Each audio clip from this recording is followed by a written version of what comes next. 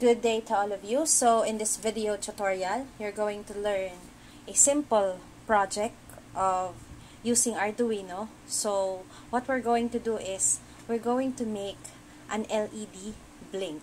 So before we start setting the components in the Arduino board and in the breadboard, so let's identify first what are the parts that we're going to need. So the first uh, component that we're going to need is of course since the our purpose is to uh, make an LED blink. So let's have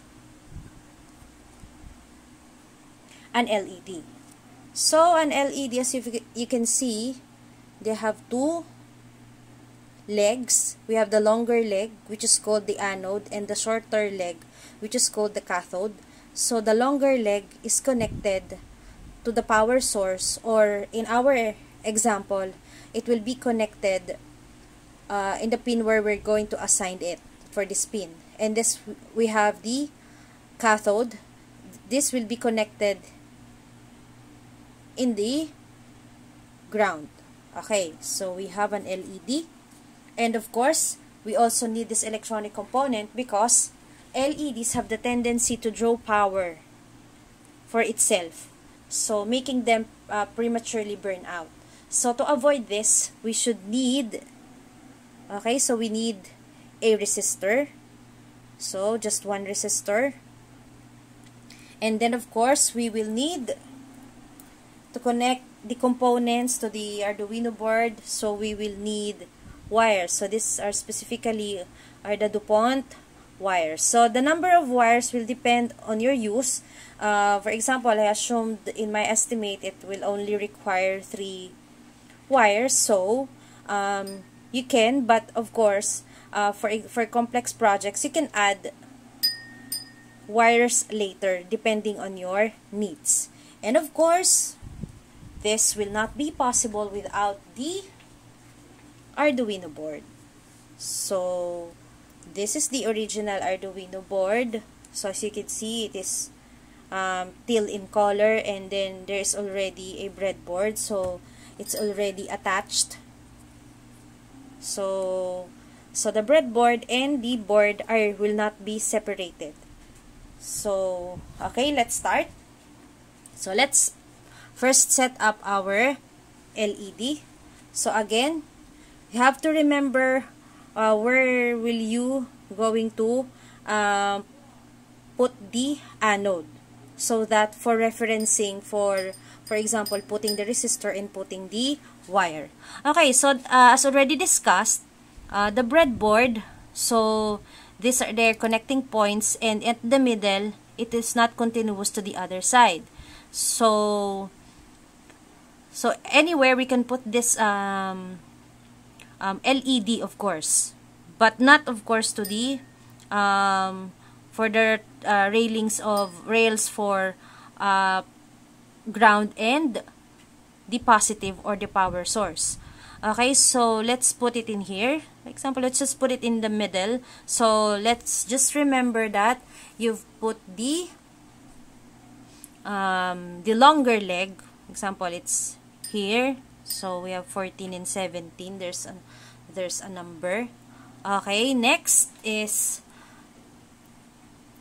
our resistor. So since this is our anode so you can connect it anywhere in here because that will still be the signal for the um, anode. And then you can connect it in here. Then you can also uh, do this. Okay so even though um, the middle of the breadboard is not continuously uh, connected for these points but then by using for example a resistor it this uh, 14 the the points here will be connected and will belong to the anode. Okay next is we have okay let's set up the the wires. So for uh, stand for following the standards so I've I've selected the color for black as the black wire for the ground so you can connect actually there are three grounds for the Arduino. So we have this one. And then and then actually this is also the ground. So you can put it anywhere. For example, I will put it. Okay, just make sure that you're really going to connect it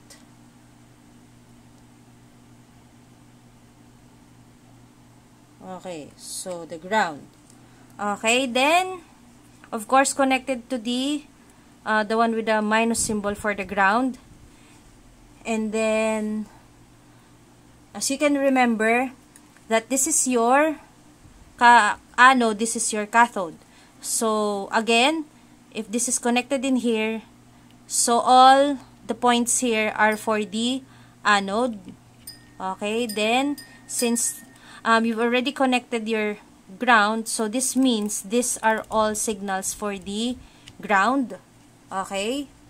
And then we have, lastly is, for example, um, let's set up our pin for the anode to pin 11. So, again, just make sure that it is pin number 11 and then put it in here. Make sure that they're aligned because sometimes that's the problem the misalignment of the wires and connections.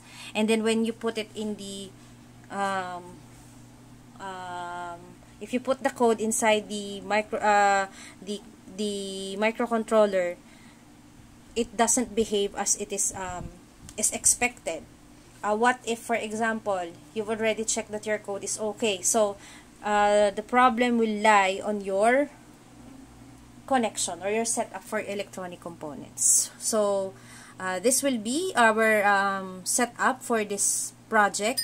And you have to remember that, it's important to remember that you put your anode to pin number 11. It's very important. So, we're already set up. So, our next is we're going to put the code. Of course, it will not work if there is no Arduino sketch. That will be the one who's going to control the blinking of the LED. Already set up our simple project, which is um, making an LED blink. So, again, we need the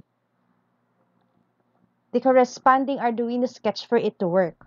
So, so for this, so let's now encode the needed Arduino sketch. So first, we have to use, okay, we need to define LED underscore 1. And then, as I told you, that we have to remember the pin number that what we've set up in our uh, Arduino board. So it is pin number 11. And then, okay, since we're going to use only one LED, so let's proceed. And then next is we have pin mode. So LED underscore, uh, underscore 1 and then output. Okay, what is this uh, pin mode doing? So pin mode is, of course, we have this LED. So all the electronic components that we're going to use in Arduino, we must initialize it either as input or output. Since LED is an output, so what are the parameters needed by pin mode function is we have the the name of the uh, electronic component and where the, the of course and the define it is assigned in pin number 11 and then we assigned it of course as output.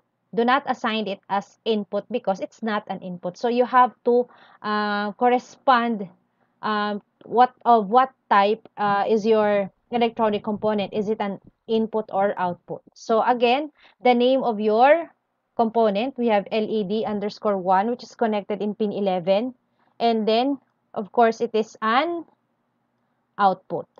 Okay, then next is we have, uh, we've already set up our LED. So next is this is the part where we're going to control the blinking of the of the LED. So we have digital write? So LED 1, comma, high. So what does this code mean? So digital write, you're going to modify the status of the electronic component. So the name of the electronic component and then what status that you're going to assign. So digital write only has two values. We have high and the other is low. Okay. And then we have delay of 500. Okay. What is this delay? So this delay function, so its parameter is in milliseconds. So it means this 500 is half a second. So it means it's fast. Okay, you have to remember that delay again as I'm um, uh, reiterating that delay is in milliseconds. So if you want to reflect it in seconds, of course, for example, uh, what will be 5 seconds? You have to add another zero. So 5 seconds is equivalent to 5,000 milliseconds. So for our example, we have 500 milliseconds or half a second. So this one is for half a second, your LED will be on. So, as I've said for our simple project, we'll make it blink, meaning it will on and off, on and off repeatedly. So, we need two other lines of code. So, we have digital, right? And then LED underscore 1, comma, and then low. Okay, and then we also have the delay of 500 milliseconds. Okay, so since you've put this in the loop as uh, written here in the uh, comment, one line, single line comment is put your main code here to run repeatedly. So since you've already declared that um, in half a second, your LED will turn on and then after executing it, um, it will also, the LED will be turned off for half a second and it will be repeated as long as the Arduino has power. So, its effect is it will blink. Okay. So, we're already done with our code. So, let's verify. So, let's, uh, again, let's save because when you verify, you'll be prompted to save. So, let's have a uh, a descriptive um, file name. For example, blinking LED and then click save.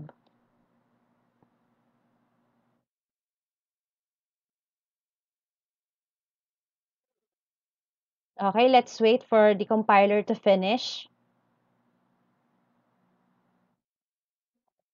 Okay, so done compiling. So as you can see, there are no errors detected in your code. So since it's already okay, so next is we're going to upload the code to the board, to the Arduino board. Okay, now we're ready to upload our Arduino sketch to the Arduino Uno board. So we've already set up and I've already um, connected the Arduino board to the computer using the USB uh, USB cable to the USB port. So again so let's start. So we've already checked that there is no error in the Arduino sketch and then we've already manually checked that all the components are properly configured and uh, it is connected to the proper pins.